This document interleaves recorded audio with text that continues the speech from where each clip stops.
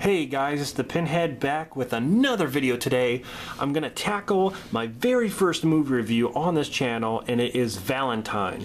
Happy Valentine's Day. I thought I'd pick a movie that has to do with Valentine's Day. It was either this or My Bloody Valentine. And I kind of wanted to review this because I wanted to give you my thoughts on it. Um, it's a 2001 slasher film. Um, it's got a pretty good cast in it. Denise Richards, Marley Shelton, Katherine Heigl. Um, that dude from Bones. and um, it's got a killer that's kind of unique. He wears a Cupid mask. And he's kind of like Michael Myers. You know, he stalks people, um, kills them with different weapons. He's not, you know, prone to just one weapon. But, um, you know, it's about this kid who gets picked on in junior high school. There's a high, there's a junior high school dance. He asks these girls to dance with them. They all reject him except for you know one that says I'll dance with you later, and then the other one, uh, who is kind of a fat girl, she makes out with the kid, and then some other boys tease Jeremy. They strip his clothes down, start kicking him. The most embarrassing moment probably in that kid's life. It probably scarred him for life. Um, you know, he's gonna need psychotherapy, all that stuff. You know, when he gets older. So that was a tragic thing that happened at this dance. 13 years go by and they're grown up and they're still in cliques. You know, these girls still hang out together. Now, um, in the beginning, you have Shelly, played by Katherine Heigl, who gets killed.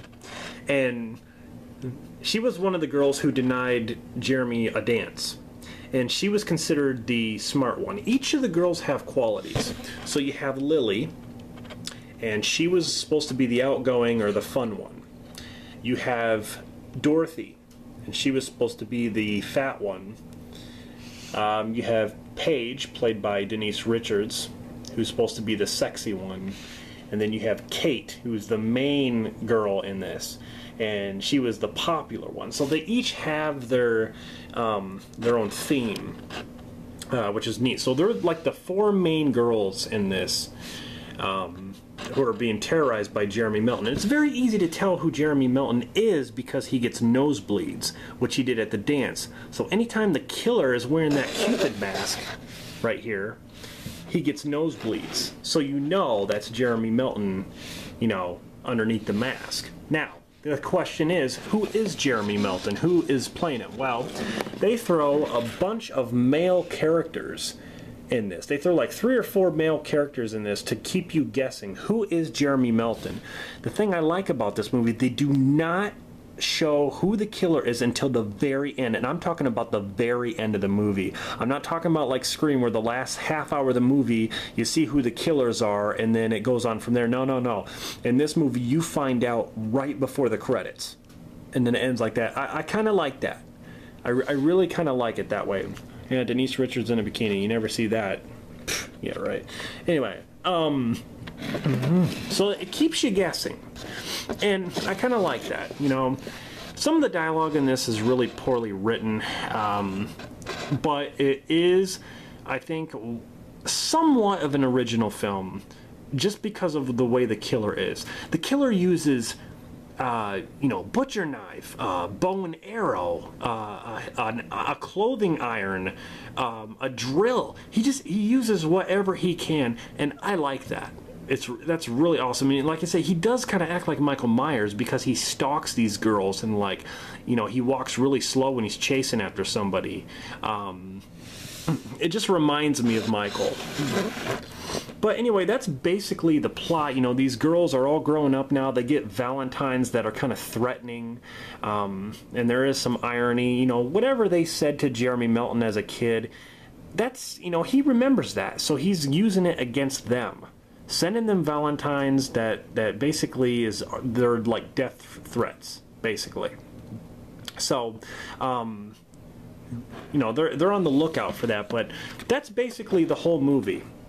That's basically the plot right there. Is that um, they're trying to figure you're trying to figure out the mystery of Jerry Melton. Who is he? Um, you know, the killer is is picking these girls off one by one, and that's basically it. Um, I enjoyed the movie. I enjoyed the movie for what it was. I think I saw this the same time as I saw Hannibal. I think I saw those two movies in one night. But I, I remember liking this movie. I didn't think it was that bad. But this is the old DVD, the the cardboard snap case. I hate these. I hate these cases. By the way, I just I freaking hate them. Um, but anyway, not a bad movie. Check this flick out. Um, it's nothing special. It's nothing like, oh my god, I gotta go out and get. No, it's nothing special. Just check it out. For a good slasher movie, for a good time, check it out. It's got an amazing soundtrack too. There's some Rob Zombie in there, some Disturbed. Um, great soundtrack. Um, so, I will leave you at that. I'm not going to give you, you know, I'm not going to spoil anything. I'm not going to tell you who the killer is. I'm not going to tell you how many of these people die or whatever. What, you know, none of that. Um, I'm going to let you find that out for yourself. So give this a watch, Valentine. Um, so I hope you enjoyed this review. Um, and if I had to rate this out of 10, I'd probably give it a solid 7.